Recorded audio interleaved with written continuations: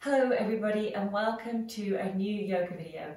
Today we're going to work through some movements for the upper body, kind of getting into the areas that get tense after a long day at work and also into the hips a little bit with some familiar standing poses and a couple of new exercises for you to try as well. As always, take it easy, listen to your body and your breathing. Remember, yoga is not a competition. so just press pause if you need to, take a break and make this your yoga practice.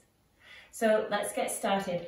Uh, I should also mention that you might want to grab a couple of blocks. Um, if you have yoga blocks, that'd be great, or um, a cushion or a rug or something like that, just to support you throughout the exercises today. So we're going to come over to a tabletop position.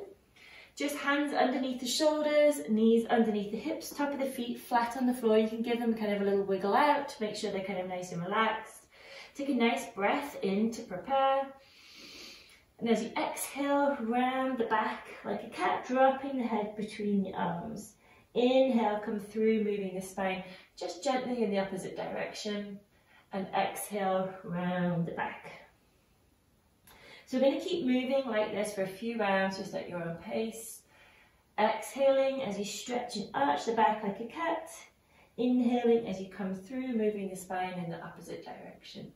A couple more times. You may even like to just move the shoulders from left to right in cat pose. Come through into cow. Good. One more time, cat. Big exhale. Inhale through to cow. And exhale, come back to a nice neutral spine in the middle. We're going to sit back on the heels, take the knees wide and stretch out into a child's pose. Really stretch the arms out along the mat and just roll over to the left and the right. You can allow the hands to kind of follow, so you're almost rolling the shoulders a little bit too here as well. Good. A couple more times to each side. And then slowly come back to the middle. Inhale, come all the way up. And we're just going to do a few kind of wave-like movements for the spine just to help warm it up. So building on that cat-cow sequence, we're going to inhale to prepare nice and deeply, filling the body with air. Exhale, round the back like a cat. Keep that nice arch in the spine and sink the tailbone towards the heels. Then kind of scoop the chin down towards the mat and come up into a cow position like this. Good. Exhale, round the back. Sit back onto the heels and then flex the spine down towards the ground, kind of sweeping the chest along the ground, close to the floor, coming up into cow. Exhale, cat, really stretching out the space, trying to really find space between the shoulder blades, come back, hips over the heels, sweep down on the ground and come all the way up. Just come back to a neutral spine now and we're going to try and reverse that movement. So you're going to come down to the ground, scoop the heels, uh, hips back towards the heels and then lift up into cat pose. Into cow, come down to the ground, move backwards and then round up into cat. A couple more times into cow, bring the chest down to the floor between the hands, sink the hips back and then rise up into cat. So let's do that one more time. Into cow, come down to the ground, hips back over the heels and round up into cat. Good. Come back into a neutral spine. And then just sit back on the heels and just give the hands a little shake out. So just kind of wiggle the wrists, shake the hands. You could even maybe make some fists, pumping the fingers up and down. Good. And then come back to the mat. Now we're just going to work through the wrists a little bit. So very gently take the left hand and place the back of the hand on the mat, the fingers pointing towards you and feel a nice stretch through the wrist here like this. Good. And then switch. Place the left hand back, turn the right hand and press the back of the right hand just gently against the floor. Feeling a nice stretch. Good. And then come back. And then turn the hands out. So the fingers are pointing to the edge of the mat. Wrists are facing each other and just hold here for a moment. You might even like to move forward and back very gently though. Just kind of adding some movement into this. Good. And then come back and turn the hands the opposite way, so fingers to face each other. Press the hands into the ground. You could even go a little bit from left to right here. Just getting into the wrists again, moving forwards and back. Just kind of see how it feels. Take it nice and easy. Good, and then come back to center. And another nice stretch you can do for your fingers is to lift the heels of the palm up off the ground and press the fingers into the floor. You can press them down, heels down, and then lift the heels of the hands up and press the fingers into the floor. Nice stretch for those fingers. Good. And then sit back on the heels. And again, just gently shake out the hands. Nice job. So we're going to make our way to downward dog now. So stretch those arms out along the ground, along the mat, fingers wide, press the palms into the floor, activate the arms, tuck the toes under, sink those hips back over the heels, and then hover the knees up off the ground. Bring the head between the arms and lift those hips up high. Walk the feet back maybe a couple of inches. Keep the feet about hip width apart and keep a little bend in the knees just to protect the hamstrings and make sure that your hips are high and back away from your hands. So you're elongating your spine, stretching out that back without really putting extra pressure onto the hamstrings, especially if your hamstrings are tight, if you're a runner, a cyclist, a swimmer, a hiker, probably the case if they're like mine. And we're going to slowly pedal the feet now, which helps to gently warm up the hamstrings and add a little bit of movement and gently stretch one at a time. Again, moving to your own, within your own range of motion. We're just encouraging some gentle stretching here. You might hear some creaks and pops in the toes. Really press those hands into the floor, keep the hips up and back to avoid the weight collapsing forward. You can even roll the top of the foot over, that's quite nice, massaging the toes against the ground. And then take the feet wide to the outer edges of the mat and begin to kind of step up in kind of like a big monster step up towards the top of the mat. So you're coming into this wide stance with your legs and just hang here for a moment. So kind of wide-legged ragdoll or medium-legged ragdoll if you like. Keeping a little bend in the knees but allowing the shoulders, the neck, the head to relax and to hang. Feel the jaw kind of relax. You could even sway a little bit here from side to side. And just allow the hands to come to wherever they land today. Just keeping everything nice and relaxing the shoulders. Good. And then we're going to bend the knees, bring the hands up to the hip. Take an inhale. And as you exhale, lift and lead with the head, hinging from the hips, come up to standing. Step the feet in, have a little shake out. Shake the feet, shake the hands. And then bring yourself to the top of your space or your yoga mat, base of the big toes together, ankles about an inch apart. Let's bring our hands into our heart center. Take an inhale. Exhale, reach the arms up towards the ceiling. And then bring the hands back into kind of this box or cactus shaped arms like this. And from here, I want to lift the chest, lead with the crown, back of the head, up and back, so we're really creating space across the sternum, across the front of the body here, but we're not crunching back. So I want you to lead and lift, thinking you're making this nice gentle curve. Good, inhale, exhale, come back. Let's do that one more time. Inhale, lift, up and over, nice gentle back bend, really leading with the top of the head, not from the base of the spine. Think of a nice gentle curve, good, and come all the way back. Bring the hands into your heart center in a prayer position and bring the base of the thumbs to your sternum again. Nice big inhale. Exhale, reach the arms up, and this time sweep them down, bend the knees, bring the hands down to the toes. Inhale, rise up to your halfway lift. You can straighten the legs here, keep a little micro bend in the knees, but think of extending the crown with the head forward so you get a nice straight long spine and then fold from the hips, tummy towards the thighs, hands down towards the ground. Let's step the right foot back, coming into a low lunge. Do a couple of kind of gentle movements backwards and forwards here just to warm up the left hip, getting into the right foot. Good.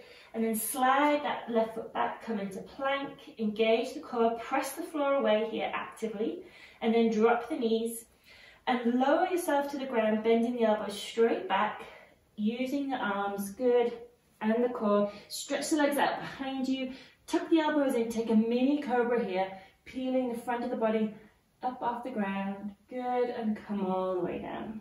Now we're going to lift up and back, take a short child's pose, stretching the tailbone over the heels, and then move into your downward dog, lifting the hips up and back, stepping the heels, the feet back a little to the back, hip width apart.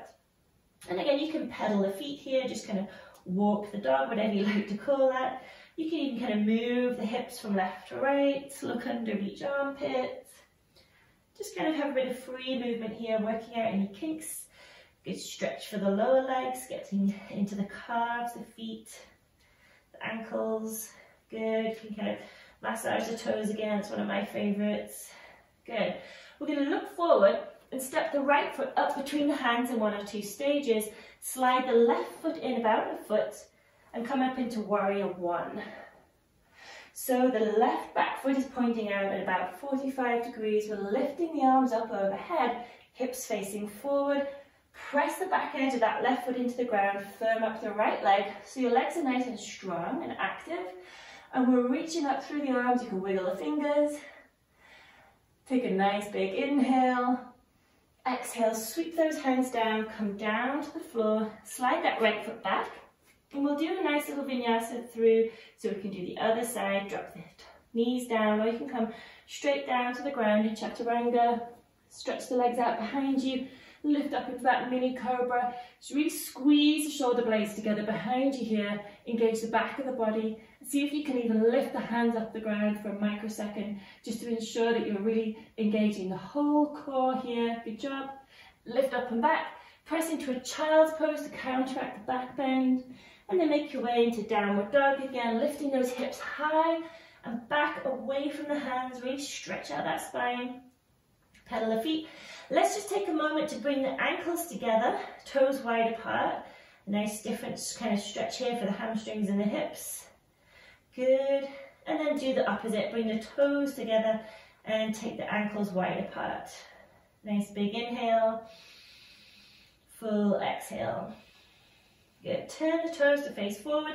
Look forward and step the left foot now up between the hands. Drop the right foot down, about a foot in.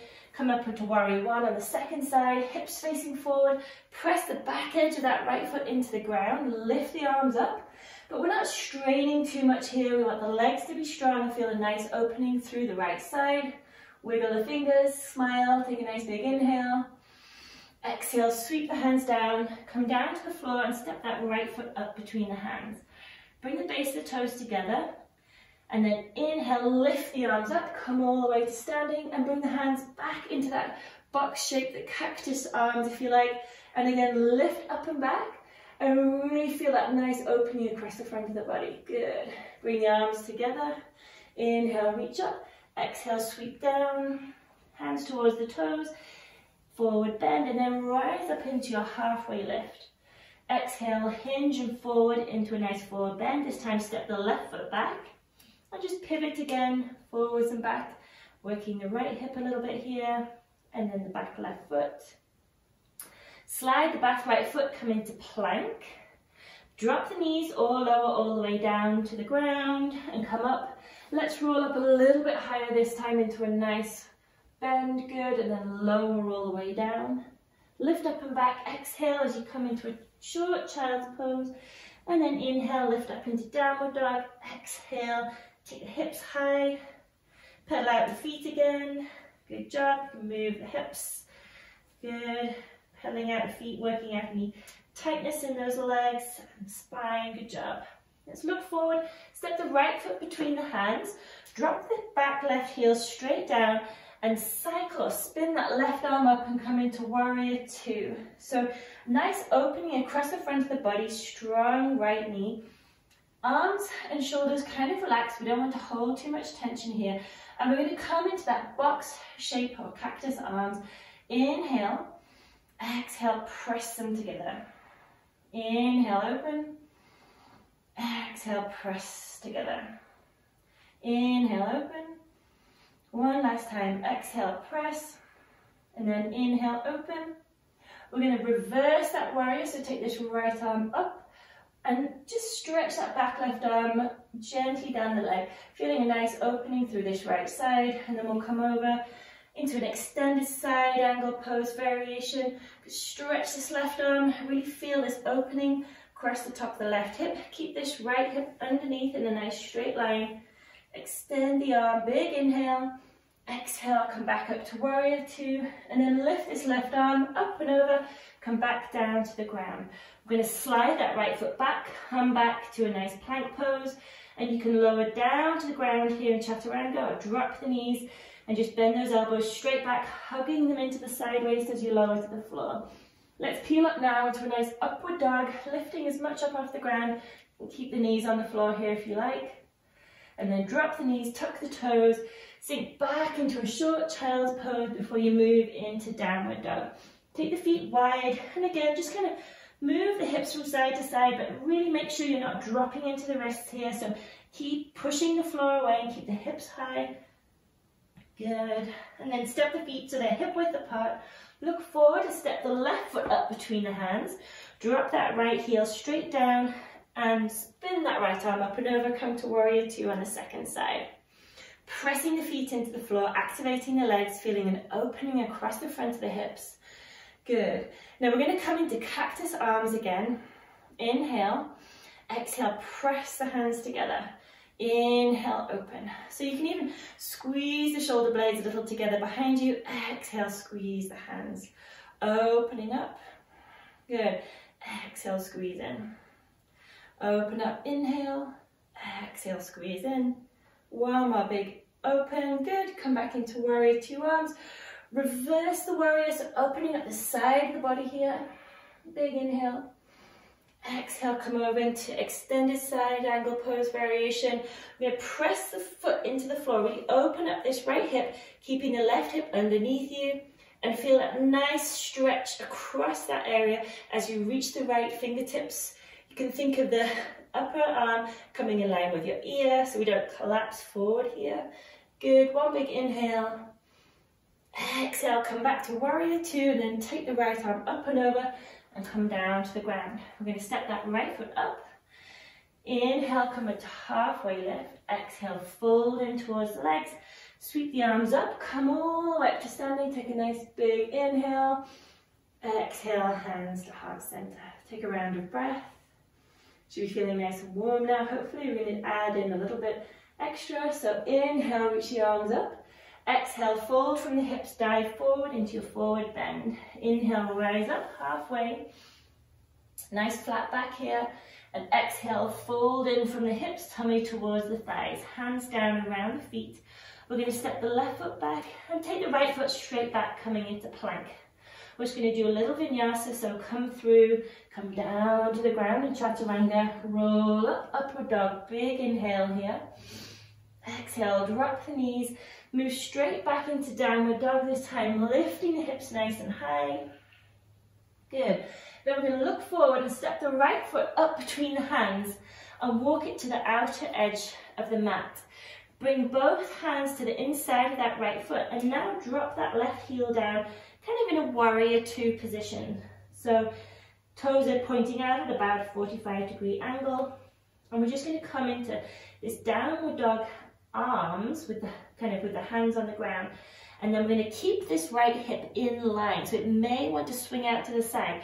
So kind of squeeze the leg, use those muscles to hold it in position and press the hands into the floor and just drop the head between the arms. So we're just going to relax the shoulders and the face here, but keep those legs nice and strong. Nice big inhale. And exhale, lift up. Now we're going to spin that back left foot around, slide the back right foot down, and now we're going to step the left foot forward. So step that left foot up to the outside of the left edge of the mat, drop the right heel down as if it was in warrior two, and bring the hands kind of into a downward dog position, so kind of in the middle of the mat. And we're going to really press the feet into the floor and keep those legs active Again, just making sure that this left hip doesn't drift out to the side. So gently guide it in line. Use your thigh as a kind of ruler, if you like, to keep things in line with the edge of the mat. Press the hands into the floor, but keep the face and the jaw relaxed if you can. So effort where the effort is needed. Breathe nice and deeply here. Good, take one more inhale. And then spin the back right foot around so the toes face forward and step the right foot now up. So both feet are on either side of the hands, kind of right on the edge of the mat. You could even turn the toes out a little bit. And we're going to sink down into Malasana. And this is a nice way to stretch out the inner thigh and the groins. If you need to here, you could add the block for a little bit of support. It just means you still get the nice opening, but without kind of going too deep into the stretch. Press the hands together in a prayer position. And just breathe here. Nice deep stretch. Try and keep the chest lifted. Try not to collapse here.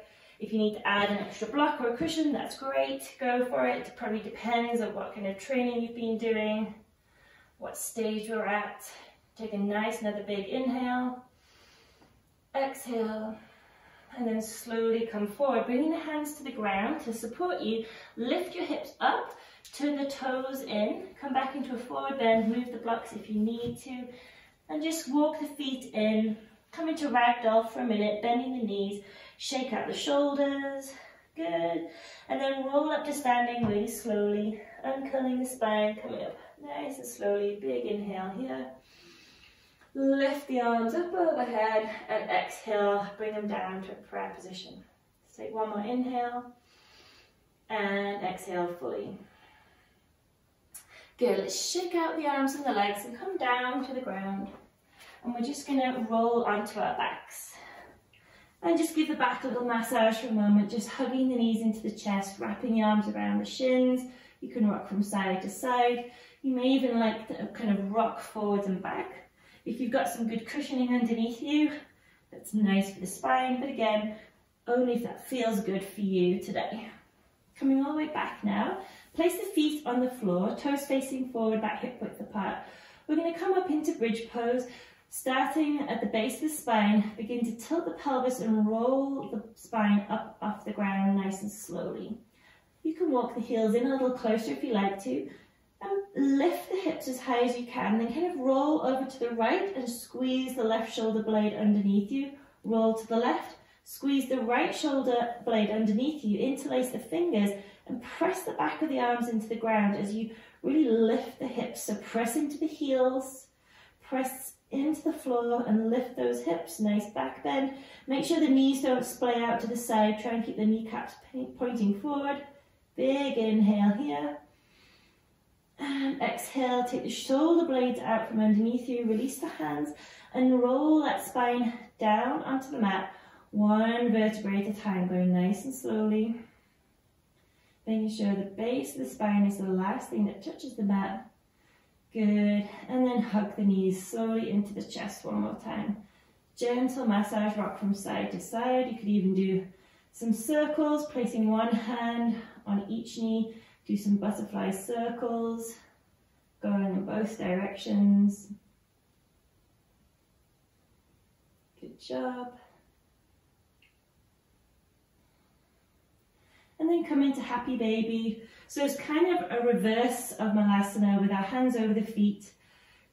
Really press the feet into the hands, palms are over the soles of the feet, arms along the inside of the leg. You can even rock from side to side here or pedal the feet around. Just hold and breathe. If it's easier, you can always hold onto the ankles. That works too. You could even do some circles with the feet here. Good, and then bring the knees together, place the feet onto the floor and just Make your way into whatever position you like for relaxation, if your blocks are in the way. You may like to grab your cushion or your prop and just place it under the back of the knees for the relaxation, just to allow the legs to fully relax and be a little supported. Place the back of the hands on the ground, arms out to the side. Make sure you feel nice and comfortable. Take a few moments just to settle in. Closing the eyes softening the face and feeling the ground really holding you, supporting you for a few moments now as we just allow the body to fully rest and relax. So we're kind of sinking into the ground, letting gravity completely take over. We're not working to resist it. We're just going to really feel the body just kind of melt, if you like, into the ground. Imagine you are melting like oil in a pan, just spreading out over the surface, allowing the breath to fall into a nice natural packing. We're not controlling the breath in any way.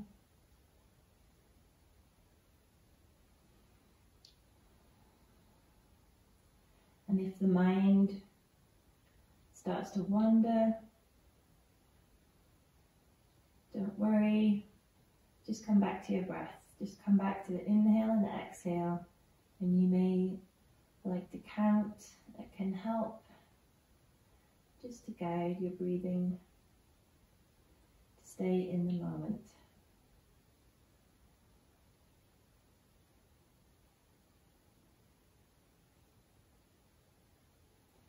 You're more than welcome to stay here and enjoy a longer relaxation. But whenever you're ready, we're going to slowly start moving, bringing some movement to the fingertips, wiggling the fingers and toes, bending the knees, draw the feet up towards you, and slowly roll over onto one side, pressing the hands into the ground, make your way up to sitting. And bringing the legs into a nice easy cross-legged position or whatever's comfortable for you this afternoon. We're going to bring our hands into a prayer position and be thankful for this time, thankful for this movement practice. Thank you for joining us today. Namaste.